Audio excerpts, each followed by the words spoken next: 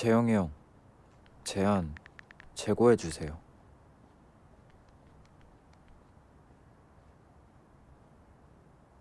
아그형 소리 좀. 아니 왜 갑자기 안 하던 형 타령이야? 언젠 그렇게 부르라면서요. 아니 하지 마. 형이라고 하라고 할 땐 언제고.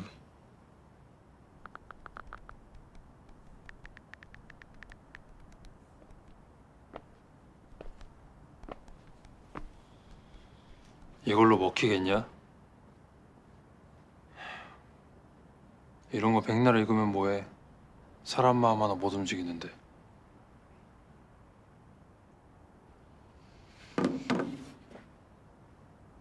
선배 말대로 그땐 제가 성의가 좀 없었어요.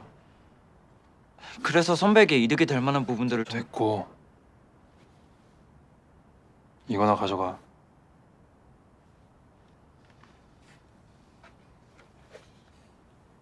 간다.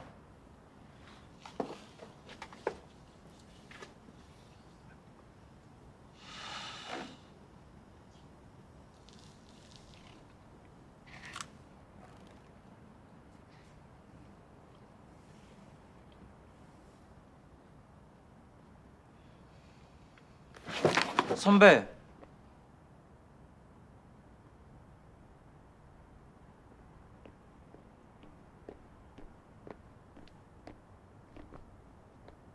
선배가 아니면 안 돼요.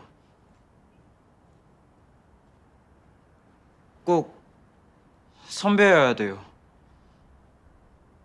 그러니까 다시 한 번만 생각해 주세요. 저 진짜 잘할 자신 있어요. 형. 시간이 멈춘 듯 했어 처음 널 봤을 때 말야 내게도 이런 날이 올 줄 몰랐었어 반가운 너였어 대단한 그런 말 말고 약간지런 말 진짜 이번 학기 안에 끝낼 수 있겠어? 네. 기획은 내가 다 다시 바꿀 거야. 야채면 그거 존나 구리거든.